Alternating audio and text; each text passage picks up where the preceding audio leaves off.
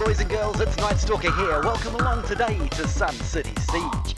Check it to check it out. We're bringing no peasants today. We're taking no prisoners whatsoever and killing everyone we find. As you can see in the top right corner there, the sun's out, so well, we're bringing the Imperial Arquebusiers. You know, sun's out, guns out. It's got to be done. I'm going to bring the Paladins with me because they're just great, and my Fortebraccio Pikemen um, because they're still my favourite unit, and they absolutely destroy cavalry and, well, pretty much anything else they touch as well. So let's see how we do today on Sun City. Uh, don't forget, if you'd like to join the Discord server, if you're new to the game and need some help, or even if you're a veteran and just want to come and chat to the team, the description, uh, in the video description below, you'll find a link to that. And um, yeah, be great to see you there. All right, here we are with our beautiful loading and animation. Now, I don't know if you saw at the start of the loading screen there, there's actually only one maul in this entire match. Just the one. So that's going to be pretty exciting. You don't get matches like that very often.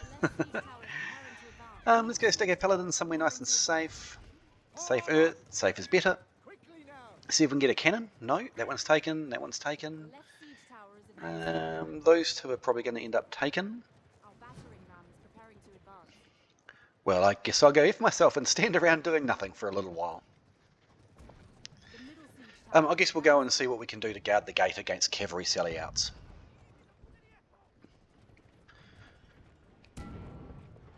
this guy's shooting flaming arrows into the wall. Good on him. Those are really hard to shoot. Do you find Hwachas hard to shoot? I really do. Hey, see this? A lot of people always ask me about my attires. Uh, this is the Korachin Mirror Armor. It's the, the, the progression, you know, the level 100 armor for level 4. What do you reckon? Nice and shiny, huh? The horse is the same. It's the Korachin Mirror Horse Armor. Uh, again, I don't know if I'm saying that right. Uh, you know, unfortunately, in English-speaking countries, they only ever teach us one language at school. It's pretty shocking. So we we're pretty bad as English speakers at adapting to other other countries' languages. So be it. Hopefully that'll change, huh? But it doesn't look like we're actually going to be sallied out against. There's still time, I guess. Now would be the time if they're going to do it. Get our flamey death stick thrower. Oh, somebody already destroyed it. Never mind. So I am just looking at the map. Uh, if you've been paying attention to the map, and of course you were, you're all great players and you always do check the map all the time. You can see over on the left hand side there that the cavalry sally actually came out that door.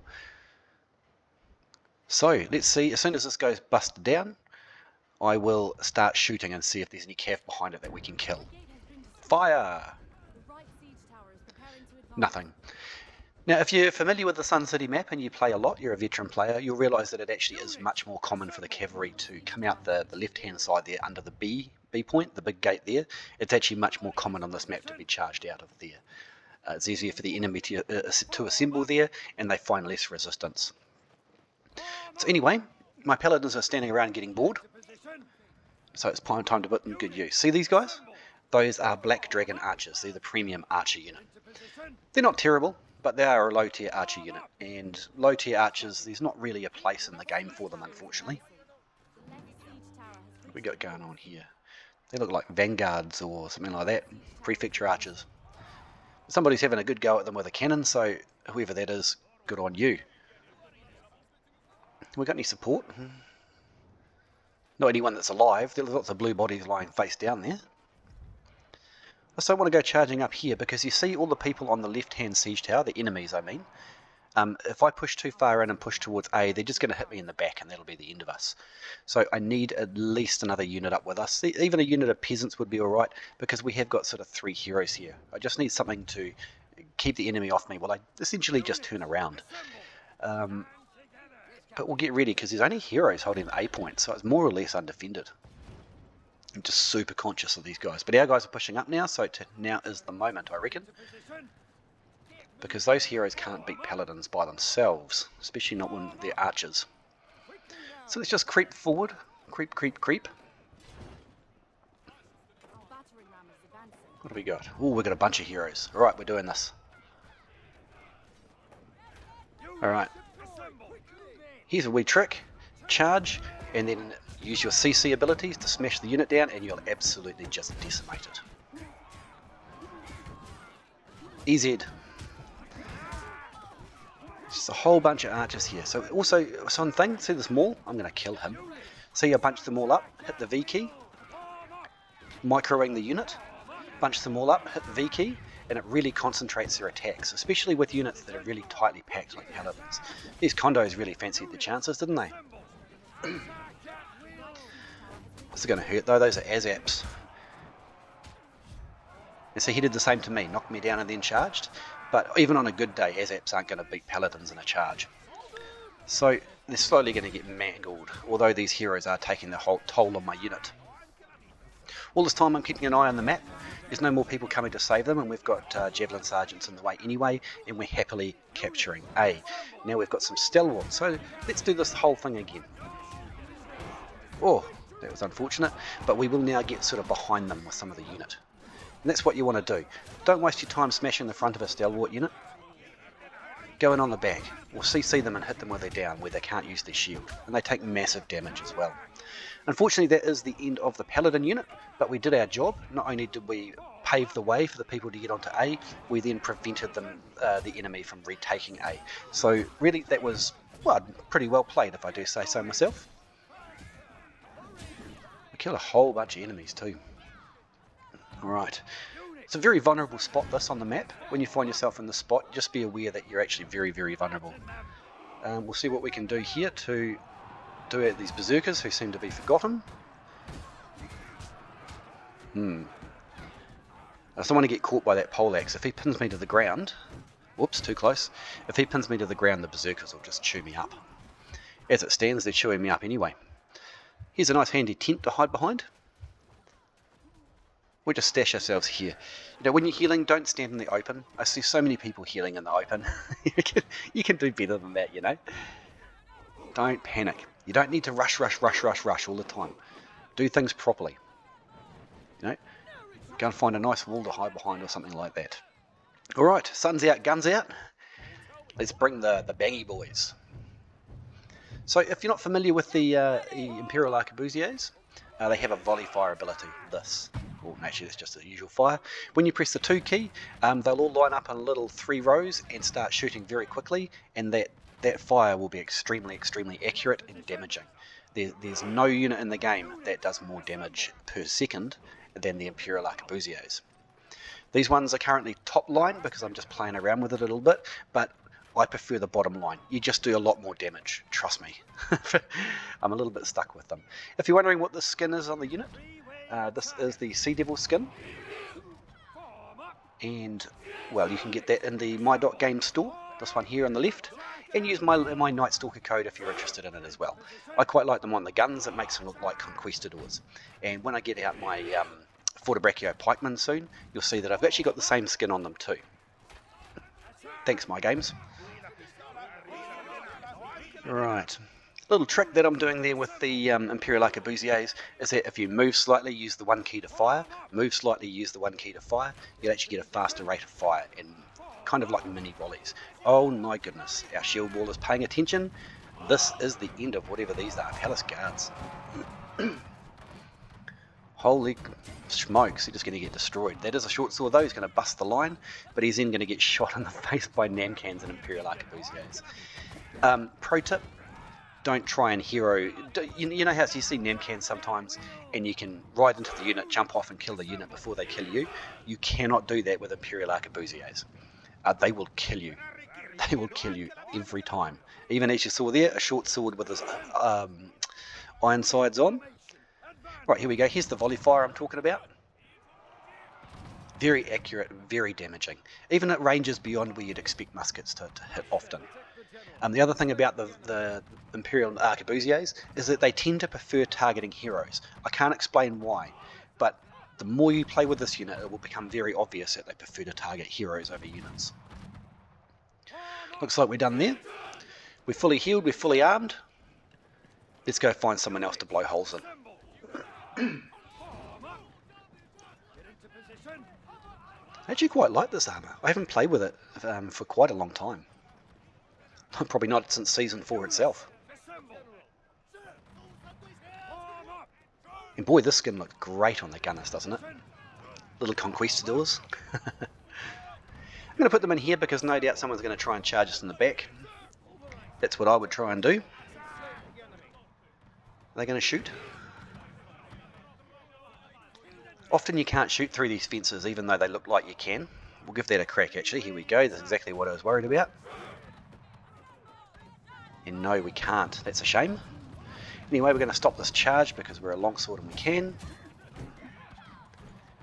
Here we go.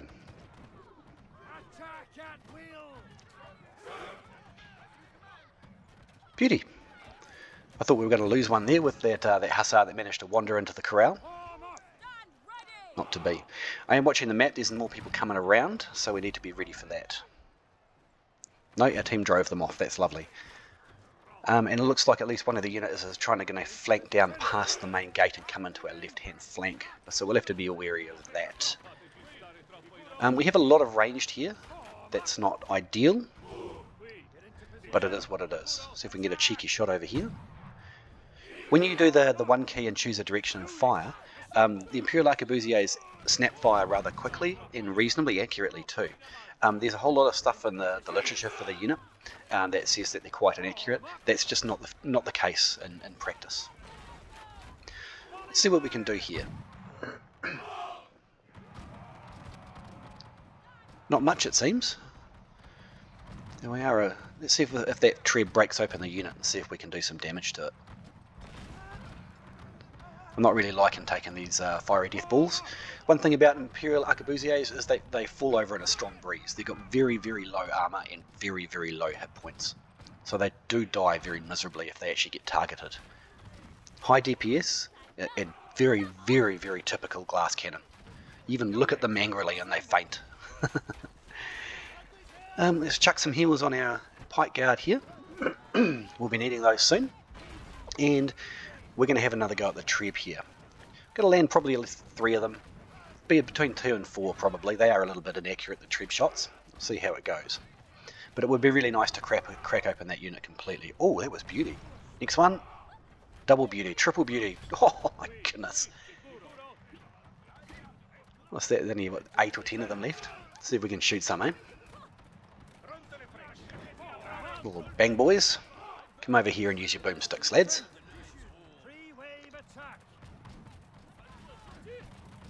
It's lovely. Oh yeah, short sword. Is just going to get shot up by my gunners. Will they kill him? Yes. So nasty the volley fire. So, so damaging. Just trying to keep an eye. You can see the enemy are trying to flank us. See back down by the C point. Now, to give you a tip, if you're a new player, um, one of the greatest pieces of advice I can give you is that you should always keep aware of your map. I'm glancing at my map once every oh, five to ten seconds, and that's and I'm trying to do it more, right? Oh, oh, oh, alt, alt, alt. No cavalry charge for you, and then of course my ho your horses will be full of bullets very quickly. But it looks like we're going to do this. They've got nothing they can push with. Oh, he's a little unit of shields. Hopefully we can bang them over. But I don't want to stick my nose out too far in the front because those Kriegsrats over there will shoot me. But these guys are a lot weaker than they look. You can just break into the unit very quickly. Here's a classic mistake. If you're going to use shields, don't use them in a Schiltron formation. Do you see how easy it is once you get inside the Schiltron formation to be able to just uh, kill the rest of the unit because they're all clo closely bunched and showing their backs? The Schiltron formation is the worst formation for shields. You've got to avoid it unless you're trying to hide them around a little corner or something, you know? What a, oh, they're out of ammo. oh, we got a victory anyway. That was lovely. What a great game. I felt like I played pretty well there, actually. Not too bad. Did 1.8 million damage. Imperial has got the MVP. The Fortebraccios didn't even make it to the uh, to the battle there. Such is life. Expedition Knights did great. Here we go. Not too bad overall. Enemy leader did great too. He's the one that got the uh, the award that I like getting. so, how we do? Overall, not too bad. You know, we did lose our paladins up on the wall there by the A point, but I think we, we made them worth their while. You know, we got 50 kills there, and I don't think any of them were peasants off the top of my head.